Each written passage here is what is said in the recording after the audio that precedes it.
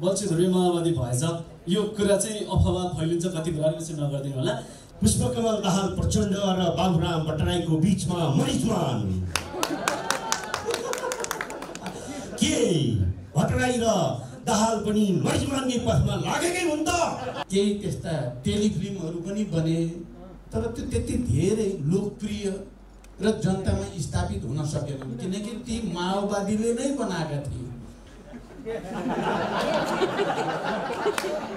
अहिले तपाईँहरू माओवादीले बनाउँदै हुनुहुन्छ। माओवादी नभएकाले बनाउन लागेको हुनाले यो जनताले पक्कै पनि रुचिपूर्वक हेर्छन् भन्ने पनि म ठान्छु जन्मदाखेरि रक्तस्राव हुन्छ सालनाल सहित जन्मन्छ फोहोर पानीले पखाल्नु पर्छ।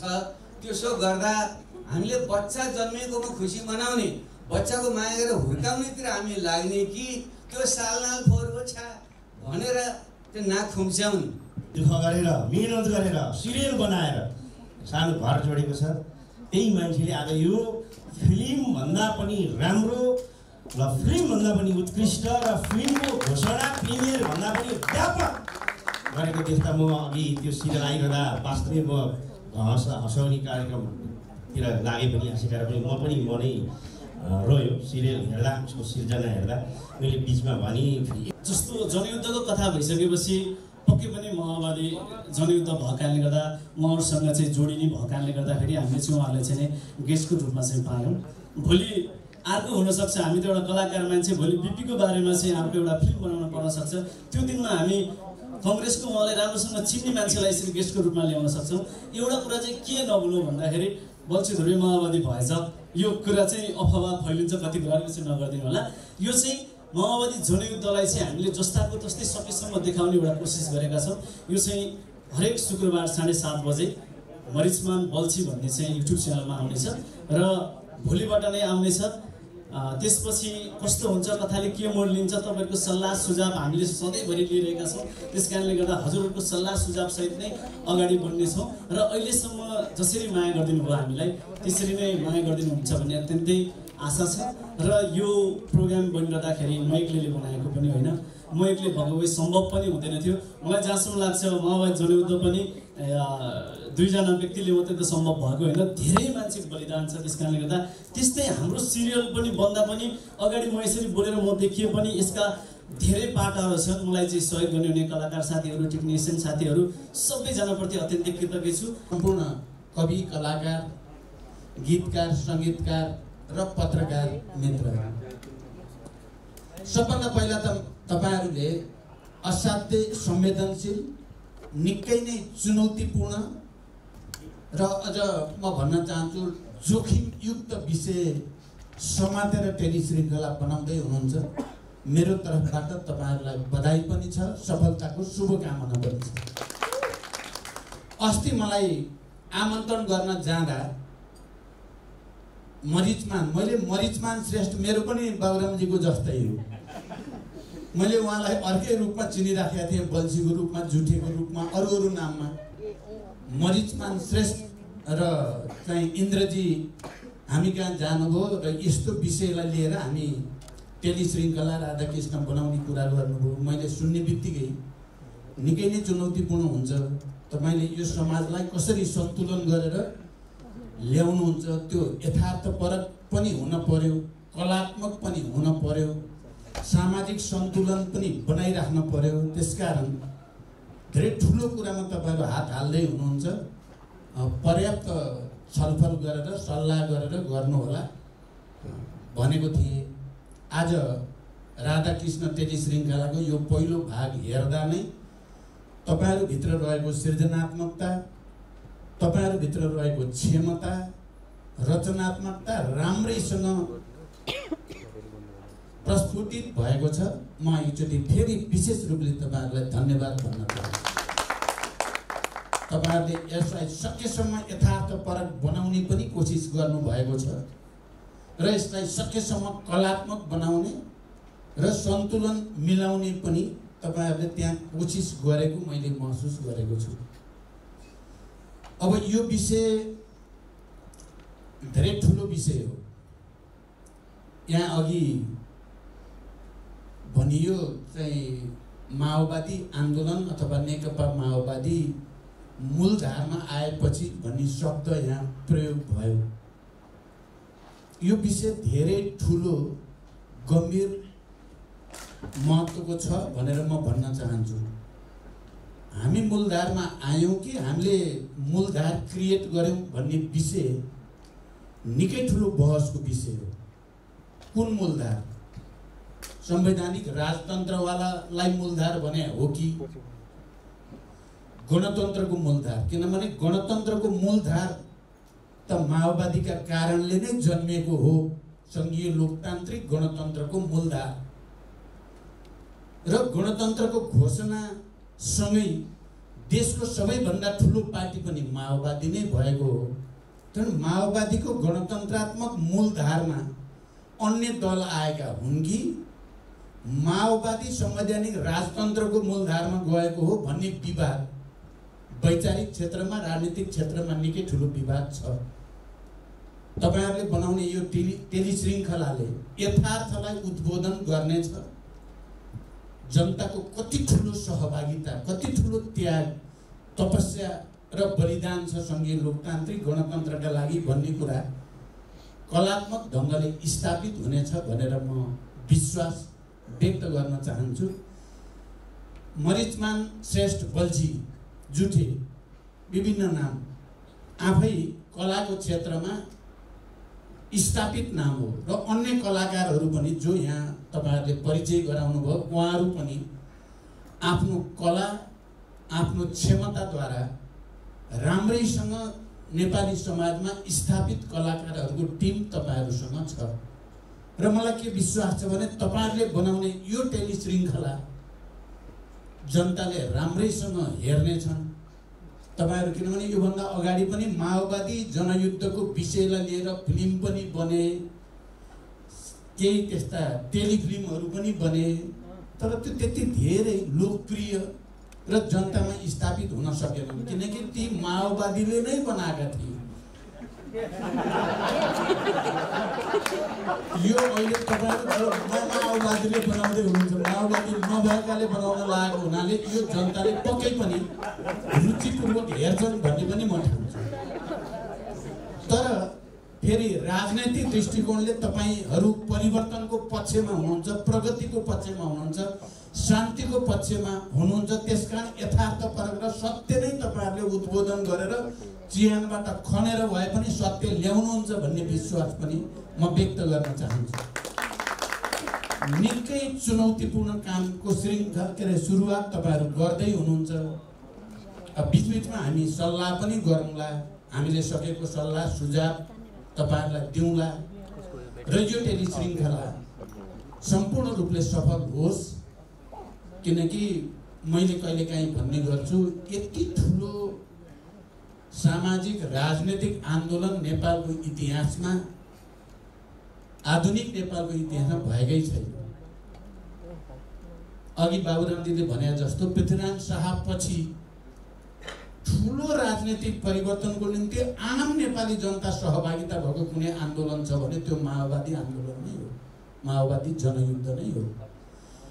यो लेटिन अमेरिकी देशमा भएको हुन्थ्यो भने युरोपतिर भएको हुन्थ्यो भने यसले धेरै ठुलो रिकग्निसन नोबेल प्राइज पाउने विषय हो यो तर यो नेपालमा भयो। त्यसकारण ठुल्ठुला शक्ति राष्ट्रहरू जसले निर्णय गर्छन् सही के गलत के तिनीहरू चाहिँ यो ऐतिहासिकता यसको गहिराई यसको महत्त्वलाई स्थापित गर्न चाहँदैनन् सायद। तर हामीले जनस्तरबाट नै तपाईँहरू जस्तो कलाकारहरूले इतिहासको यो अत्यन्त दूरगामी परिवर्तनको बाहर आन्दोलनलाई ठिक ढङ्गले चित्रण गरिदिनु भयो भने देशमा सामाजिक राजनीतिक चेतनाको दृष्टिकोणले पनि परिवर्तनलाई कुनै तरहले उल्ट्याउन खोज्ने प्रवृत्तिलाई पनि तपाईँहरूले एउटा राम्रो जवाब दिनुहुनेछ एउटा राम्रो वातावरण बन्नेछ भन्ने म विश्वास व्यक्त गर्न चाहन्छु। तपाईँहरू कलाकार अघि नै मरिचमानले अहिले हामीले यो विषय बनायौँ भनेर माओवादी भयौँ भनेर कसैले बुझ्न उचित हुँदैन। यो त कलाकारले त विषयवस्तु लिन्छ नै तर भोलि बिपीको पनि हामी बनाउन सक्छौँ अथवा अर्को पनि बनाउन सक्छौँ भन्ने कुरा राख्नुभयो। त्यो पनि ठिक छ। तपाईँहरूले कलाकारले सोच्नुपर्ने त्यसरी नै हो। कसैको एउटाको पक्षमा ढल्किएर मात्रै भइहाल्छ भन्ने कुरा पनि होइन। तर फेरि पनि सामाजिक यथार्थको चित्रण यथार्थपरक ढङ्गले होस् र प्रस्तुति कलात्मक ढङ्गले होस् इतिहासप्रति न्याय होस् नेपालका उत्पीडित वर्गहरूको उत्पीडित जाति समुदायको यति ठुलो आन्दोलन लाखौँ महिलाहरू हजारौँको बलिदान यसमा छ तपाईँहरूले बुझ्नुभएकै छ त्यो। त्यसै गरी उत्पीडित वर्गको र सबै समुदायको पनि यो आन्दोलन हो। त्यस कारण त्यसप्रति न्याय गर्ने कुरामा तपाईँहरू पक्कै पनि कहीँ पनि विचलित हुनुहुने छैन। तपाईँहरूलाई अप्ठ्यारो आउन पनि सक्छ। मलाई थाहा छैन। तपाईँहरूलाई विभिन्न खालको दबाबहरू प्रेसरहरू आउन पनि सक्छ। त्यस्तो भयो भने पनि राय सल्लाह सुझाव दिनुहोला। हामी तपाईँहरूको साथमा हुन्छौँ। हामी तपाईँहरूको साथमा हुन्छौँ।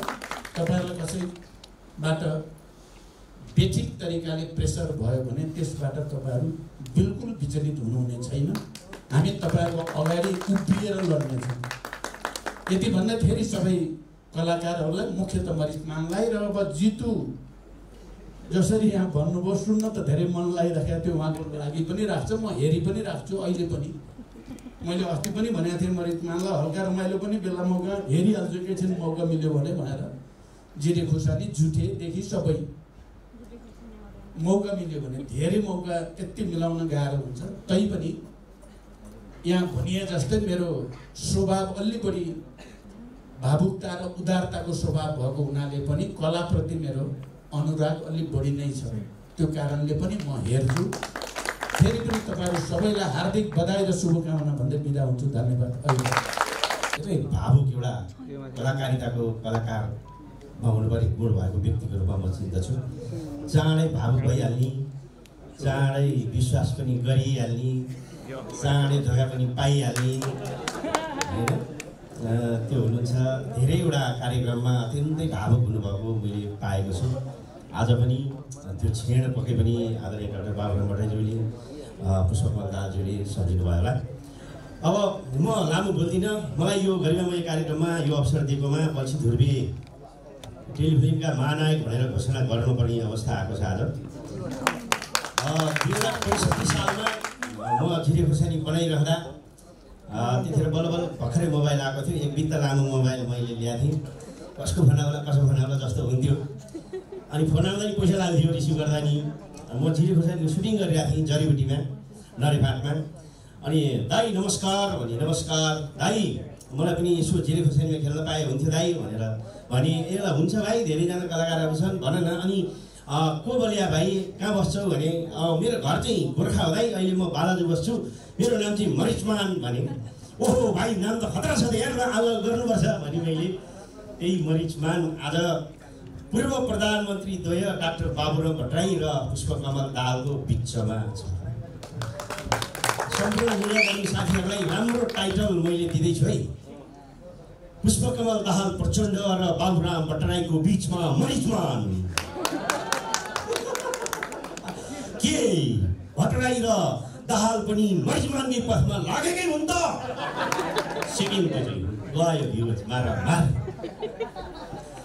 र त्यतिखेर पैँसठी सालमा त्यसपछि राजु मास्टर भाइ राजु भाइका छन्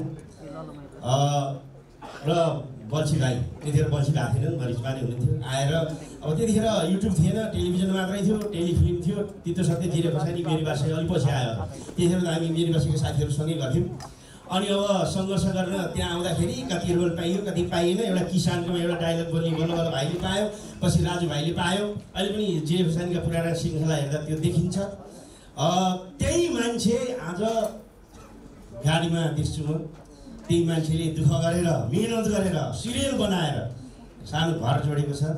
त्यही मान्छेले आज यो फिल्मभन्दा पनि राम्रो र फिल्मभन्दा पनि उत्कृष्ट र फिल्मको घोषणा प्रिमियर भन्दा पनि व्यापक गरेको देख्दा म अघि त्यो सिरियल आइरहँदा वास्तवमै म हँस हँसाउने कार्यक्रमतिर लागे पनि हाँसेर पनि म पनि मनै रोयो सिरियल हेर्दा उसको सिर्जना हेर्दा। मैले बिचमा भने फिल्म बनाउनु पर्थ्यो नि यहाँ भने मैले। तर फिल्म बनाएर के भन्न सकिन्छ छैन। हल्ला मात्रै ठुलो हल मात्रै ठुलो पर्दा मात्रै ठुलो यो छैन। ठन्डा यति व्यापार गऱ्यो उति व्यापार गऱ्यो भने छैन। अब यी बल्छी धेरै बेलै ट्याक्क तेइस चौबिस तारिक भएपछि टङ्रङ्ग बच्छ सिद्धियो कहीँ जानु नि पर्दैन केही गर्नु नि पर्दैन। फुरु फुरु कुरो बुझेको छ मान्छेले। त्यस कारणले यो सिरियलमा हो र वास्तवमै यस्तो उत्कृष्ट सिरियल मैले बुझेसम्म आजसम्म बनेको छैन मैले त जोरदार ताली मरिचमानलाई उसलाई धेरै धेरै साह्रै नै खुसी लाग्यो जनयुद्ध भनेको नेपाल राज्य बने यताको सबभन्दा ठुलो परिघटना हो नेपाली भुइँ तहको जनता त्यो लाखौँ पचासौँ लाखको हिसाबले कुनै अभियानमा सहभागी भएको थियो भने कि त सुगली सन्धिभन्दा अगाडिको राज्य विस्तारको क्रममा टिस्टादेखि काँगडासम्म नेपाल राज्य विस्तार हुँदा नेपालका सबै तर तबकाका महिला बालबच्चा समेतले सहभागी भएर राज्य निर्माण सहभागी भएका थिए। कि त माओवादी जनयुद्धकै क्रममा देशैभरका सम्पूर्ण तर तबकाका जनता सहभागी भएको थियो। त्यसले यस्तो यो परिघटनाले जुन आज हामीलाई सङ्घीय लोकतान्त्रिक गणतन्त्र यो अवसर दिएको छ यो मुख्य पाटो यो। हो तर के हुन्छ भने समाजमा ठिक र बेठिकको लडाइँ निरन्तर चल्छ।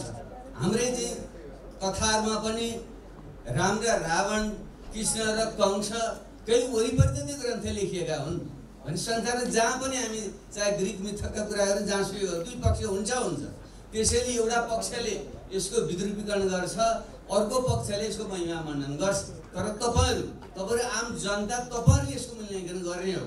र मेरो एउटै मात्रै सुझाव के हो भने बच्चा जन्मदाखेरि रक्तस्राव हुन्छ सालनाल सहित जन्मन्छ फोहोर पानीले पखाल्नु पर्छ। त्यसो गर्दा हामीले बच्चा जन्मिएकोमा खुसी मनाउने बच्चाको माया गरेर हुर्काउनेतिर हामी लाग्ने कि त्यो सालनाल फोहोर हो छा भनेर त्यो नाक खुम्च्याउने त्यसैले यो दृष्टिकोण भर गर्ने कुरा हो। मलाई के विश्वास छ भने नेपाली जनताकै सहभागितामा भएको यत्रो परिवर्तनको पक्षमा यो टेरिस श्रृङ्खला उभिन्छ र यसमा भएका कमी कमजोरी ती साल नाल र रक्तस्रावका जुन घटनाहरू छन् ती पनि अवश्य नै आउँछन्। ती गौण रूपमा सहायक रूपमा आउँछन्। प्रमुख रूपमा बच्चा जन्मेको खुसियाली यसले ल्याएको उपलब्धिको पाटो प्रमुख बनेर आउँछ भन्ने मलाई चाहिँ विश्वास छ। त्यसो भयो भने इतिहासप्रति पनि न्याय हुन्छ। खास गरी नयाँ पुस्ता युवा पुस्तामा हामीले जनयुद्ध किन गरेका थियौँ के आवश्यक यो परिवर्तन कसरी आयो भन्ने कुराको सम्प्रेषण हुन सकेको छैन। किनकि इतिहास त श्रृङ्खला कडी कडी हुँदै अगाडि बढ्ने हो। न्युटनले भने जस्तै I can see farther because I stand on the shoulders of giant भन्थ्यो मैले अलिक परसम्म देखेको भनेको महामानवको कानमा चढेर हो। अघिल्लो पुस्ताको कानमा चढेर नयाँ पुस्ताले परसम्म देख्ने बनाउने हो। त्यसैले तपाईँ हामीले त यसलाई ल्याएन हाम्रो पुस्ताले। अब यसलाई टेकेर अगाडि जाने हो। यसैलाई भत्काउने यो बेठीको पछाडि फर्कने उयो भाउ भयो भन्ने गर्छन् त्यसमा बग्ने होइन। हाम्रा कमी कमी अवश्य भए। त्यो तपाईँले मूल्याङ्कन गर्ने कुरा हो। तर फेरि पनि नेपालको भविष्य उज्जवल छ। हाम्रै युवाहरूमा जुन खालको निराशा जुन छाएको छ त्यसको अब कारण यहाँ समय हामीले छैन। म छोटो के मात्रै भन्छु भने अरू देश छिटो बने हाम्रो किन बनेन भन्नुभएको छैन। किनकि हामी एउटा कुरा त यो क्रान्ति र परिवर्तन हामीले सहमति सम्झौताबाट ल्याउनु पर्यो। बाध्यता थिए त्यसका भूरान्ति जटिलता देशभित्र जटिल एउटा त्यो कारणले गर्दा पूर्ण क्रान्ति भएको होइन। यो सहमति र सम्झौताको क्रान्ति भएको एउटा कुरा। दोस्रो कुरा क्रान्ति र परिवर्तन भइसकेपछि कमसेकम केही दशकसम्म ती क्रान्तिकारीहरू जस्तो दिमागमा भिजन थियो नयाँ नेपाल कसरी बनाउने भन्ने जुन चित्र थियो तिनीहरूले चलाउन पाएको भए संस्थाहरू बन्थे आर्थिक विकास र समृद्धिको ढोका खुल्थ्यो सुशासन र समृद्धिको मार्ग खुल्थ्यो तर हामी त छ महिना नौ महिनामा सरकार फेरि बदलिया छ। गर्ने क्रममा चाहिँ पुरै खिचडी जस्तो गरेर नयाँ र पुरानो जुन दलदलमा यो फस्यो त्यसले गर्दा अहिले यो स्थिति आएको चाहिँ कारण त्यो त्यसैले पनि फेरि यस विषयमा कुनै सन्दर्भमा कहीँ सुनेर गरौँला। तपाईँहरूले हिम्मत नहार्नुहोस्। यो जुन टेली श्रृङ्खलाले नेपाली इतिहासको एउटा महान जुन परिघटना भएको कालखण्ड हो त्यसलाई चाहिँ नेपाली जनतामा खासै नयाँ युवा पुस्तामा सही वस्तुसँग डल्ले राम्रो प्रशंसा गरिदिनु भने छैन आलोचना गर्नु होला हाम्रो। तर यसो सही त्यहाँ तथ्यपूर्ण इतिहास संरक्षण गरिदिनु भयो भने इतिहासप्रति न्याय हुन्छ र त्यसले चाहिँ हाम्रा युवाहरूले जो वितृष्ण भएर देश बन्दैन भने विदेश पलायन हुनु प्रवृत्ति छ अहिले देश बनाउन सकिन्छ। एउटा पुस्ताले लडेर यहाँसम्म ल्याएको थियो। अब हाम्रो पुस्ताले फेरि मिहिनेत गरेर देश बनाउँछ भन्ने सन्देश गयो भने नेपाल बन्छ। त्यस अर्थमा तपाईँको टेलिश्रृङ्खला राधाकृष्ण सफल रहोस्।